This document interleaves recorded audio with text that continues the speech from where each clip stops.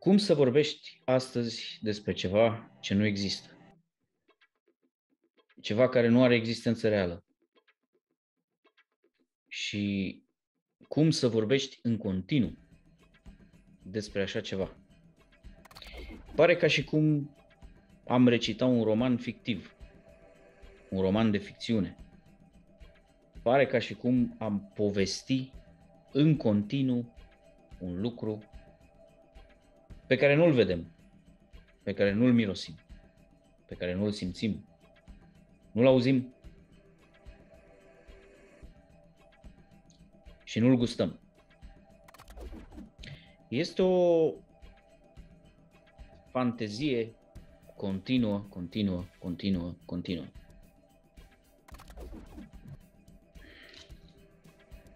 Asta este pandemia de astăzi. Ceva care a fost plănuit zeci de ani, ceva care s-a bazat pe o chimeră, pe o teorie, pe o fantezie și care nu are de-a face cu nicio cultură, cu nicio uh, tradiție, cu nimic științific care s-a descoperit, care s-a dovedit a fi real până în zilele noastre. Bună ziua, bună seara, bună dimineața, dragi români de pretutindeni. Astăzi ne aflăm pe o muchie de cuțit. Ne aflăm în pragul unor uh, măsuri, dacă vreți, unor restricții, alții ar spune, unor uh, reguli, unor legi care ne vor termina drepturile și libertățile fundamentale puțin câte puțin. Bazat tot acest angrenaj, tot acest mecanism pe o poveste, o narațiune. Recent, unul dintre cei mai mari exponenți ai așa zisului Forum Economic Mondial a spus că avem nevoie de o narațiune a Marelui Reset sau o mare narațiune. Cum să faci să spui o poveste în continuu despre o irealitate, despre ceva ce nu există și oamenii să o asculte tot timpul. Tot timpul. Pare că, așa cum am spus, recităm un roman de ficțiune. Este oare un roman de ficțiune? Este oare realitate? Nu are nimic de a face nici cu realitatea, nici cu vreo dovadă, nici măcar cu uh, vreo intuiție pe care vreun uh, brav om de știință a avut-o cândva.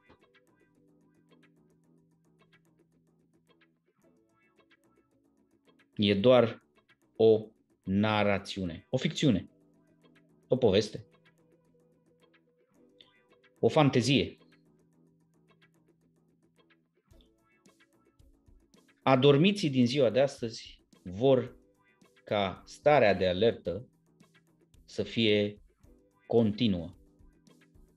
Se termină o hotărâre guvernamentală, începe alta se continuă starea de alertă și se continuă starea de alertă, adormiții continuă starea de alertă la nesfârșit.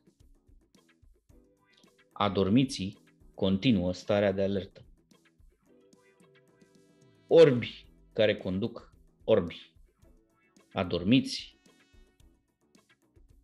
care conduc aparent alți adormiți. În număr mare. O mare masă de adormiți. Ne aflăm uh, în apropierea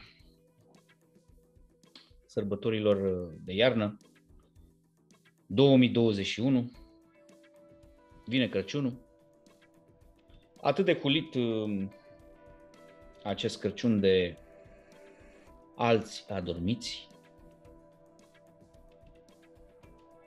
care nu mai știu ce înseamnă Crăciunul, au fost creați în laborator. În laboratorul unde s-au creat narațiunile, poveștile, fanteziile bolnave ale altor adormiți. Adormiți creând adormiți, care creează adormiți și o tot continuă. Până când? Până când? Oare lumea nu are limite? Oare lumea este nesfârșită așa ca narațiunea lor? Ca povestea lor? Ca fantezia lor? Oare este un paradis perfect în care ei trăiesc și vor să trăiască? Oare este o viață nemuritoare? Cea pe care au ales-o? Sau un somn continuu, fără de sfârșit? Un somn continuu fără de sfârșit nu înseamnă nemurire. E un somn continuu, fără de sfârșit. Somnul e o mică moarte, spuneau unii înțelepți. Trezi. Trezi. Sau treji. Trezi. De acum sute, mii, zeci de mii de ani. Somnul e o mică moarte. Pleci de aici din trupul fizic ca să continui. Dincolo. În lumea de dincolo.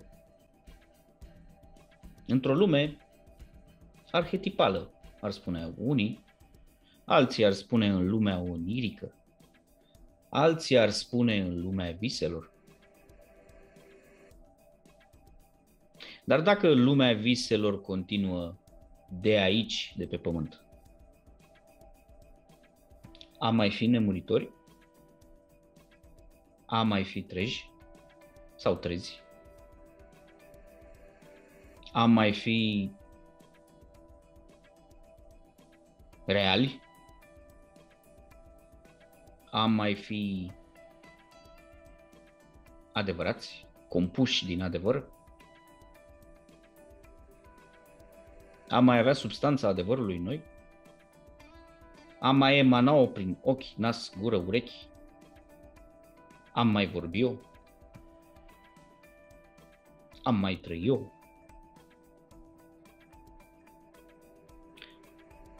Se apropie Crăciunul, nașterea Domnului,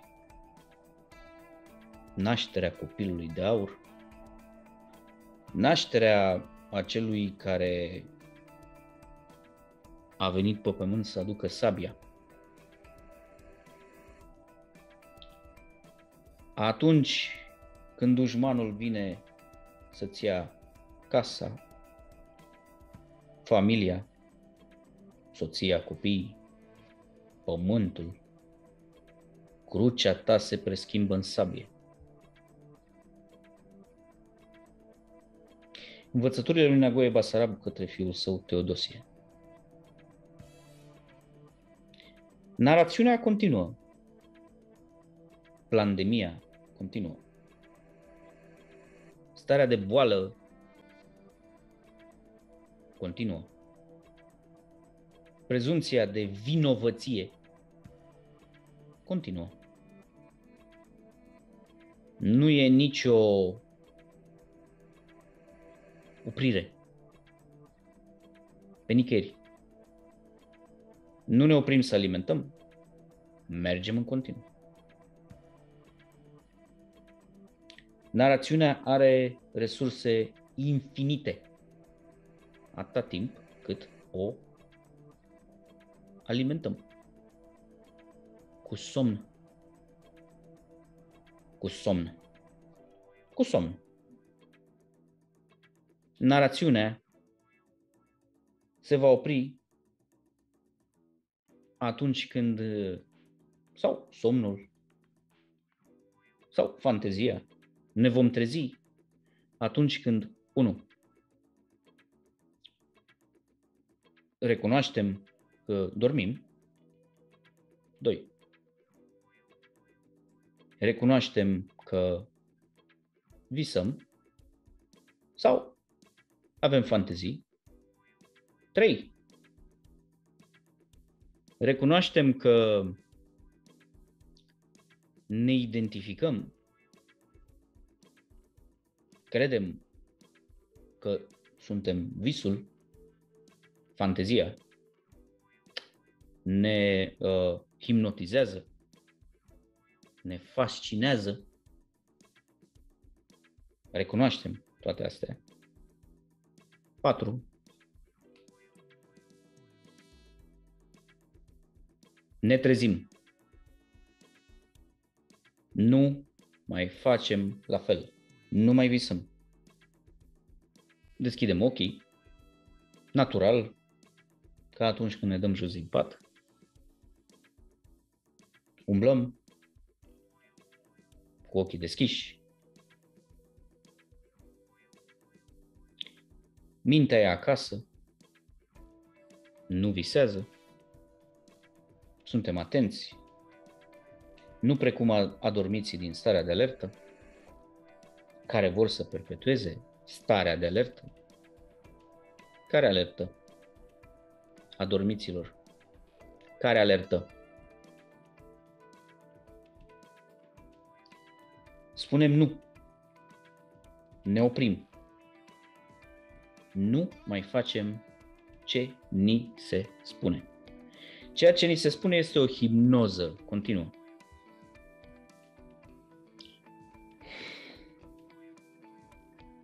Ca acel pendul ni se flutură în fața ochilor și noi adormim. Ca acel caleidoscop la care ne uităm că se mișcă în continuu, când de fapt el nu se mișcă. El rămâne la fel. Oricât s-ar mișca, el de fapt nu își schimbă aspectul, nu se mișcă. Și din noi poate să facă adormitul care vrea să perpetueze starea de alertă ce vrea. Visele se pot înmulți. Fanteziile se pot înmulți. Narațiunea se poate înmulți.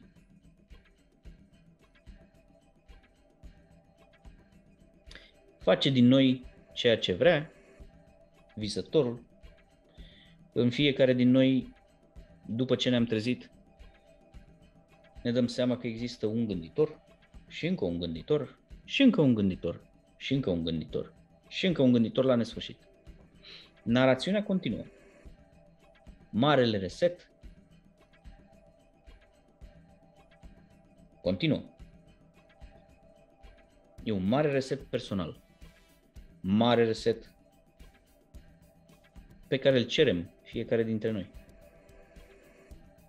Prin hipnoza noastră. E un virus ucigaș. Nu-l vedem. Dar e ucigaș. Suntem infectați.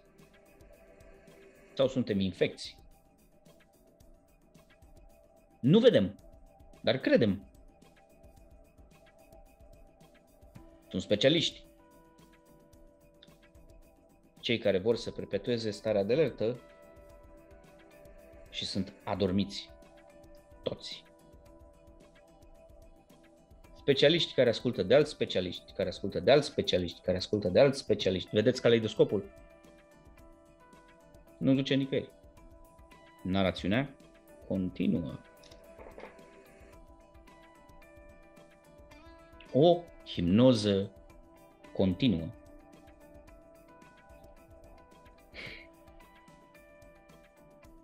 Unii încearcă să se trezească. Pe unii numim temerari, pe alții patrioți, pe alții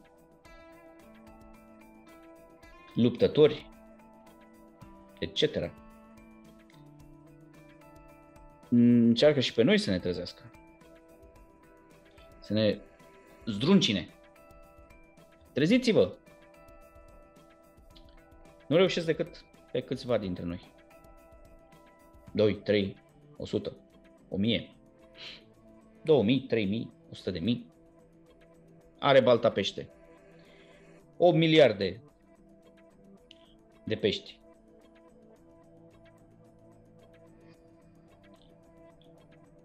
Imediat sunt reduși la tăcere de niște adormiți. Indivizi care dorm. Dar culmea, au voința lor proprie. Se apără. Un instinct de conservare. Se apără. Și sunt foarte periculoși. Îți pot fabrica dosare penale. Pot trimite alți adormiți medaliați la tine în casă sau la tine la cabinet sau la tine la birou sau la tine în studio. Să îți iau un interviu. Îți iau un interviu. Cum ai îndrăznit să te trezești? Cum ai îndrăznit să spui că nu funcționează? Cum ai îndrăznit să spui că ăsta e un vis și că nu e realitate? Cum ai îndrăznit să pui la îndoială visul, narațiunea, povestea, fantezia? Cum ai îndrăznit? Cum? Pui mâna pe mine, mă agresezi? Am legea de partea mea. De fapt, legiune de partea lui sau ei. O legiune de bestii care în întuneric comit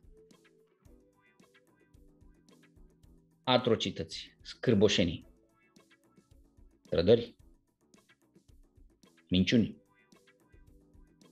crime. Uh, distrugeri uh, publice, atrocități, perversiuni. Dar ei sunt medaliați. Merg în teatrele de război, sunt temerari, au curaj, că au rezistat unor uh, programări, unor spălări pe creier unor minciuni. Au contribuit la problemă? Au contribuit la perpetuarea narațiunii? Au contribuit la continuitatea stării de alertă a altor adormiți.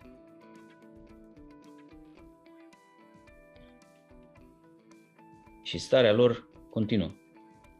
Pandemia nu are de gând să se termine. Până nu vor ajunge la copiii voștri. Până nu vor ajunge la nou-născuții voștri. Nu are de gând să se termine până nu va șterge cu guma de șters tot ce înseamnă cultură, tot ce înseamnă om omenesc, tot ce înseamnă frumos, natural, real, treaz. Pandemia se va opri atunci când ne vom trezi. Recunoscând că dormim, recunoscând că fantasmăm, recunoscând că ne fascinează ceea ce fantasmăm, că ne hipnotizează și spunând gata, stop. Nu mai. Aici ne oprim. Și ne trezim. Atunci vom vedea că fiecare dintre noi este un frate, este o soră. Vom fi împreună și dinpreună. Ca mai apoi să-i dăm la o parte pe adormiți sau să-i trezim pe cei adormiții care perpetuează starea de alertă.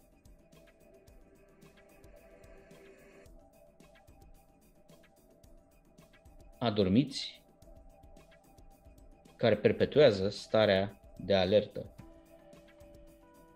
La asta s-a ajuns. E ca o alarmă într-un stat polițienesc. Statul polițienesc va fi cu complicitatea ta instaurat. Începe alarma. Alarma e acea stare de alertă care se va va intra în acțiune ori de câte ori nu vei asculta de pendul.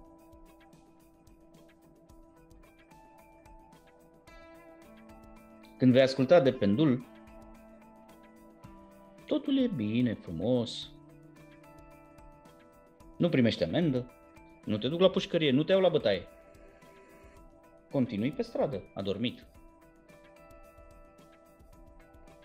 Până când nu vei mai putea să te trezești. Atunci ai murit.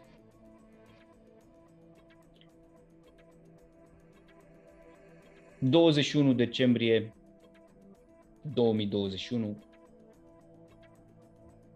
e o chemare la trezire.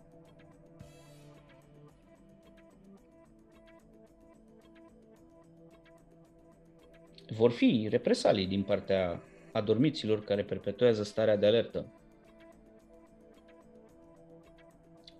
Să mai repet, adormiților care perpetuează starea de alertă. E ca treaba aia cu repetiția e mama învățăturii.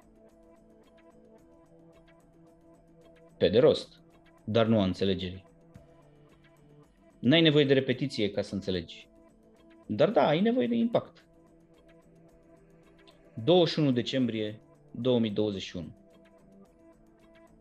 Pentru cei care vor să se trezească. Altfel, vine statul polițienesc și puțin, câte puțin, câte puțin, trezirea va fi imposibilă. Am consemnat. Și vă salutăm. 21 decembrie 2021. Țineți minte data. Treziți-vă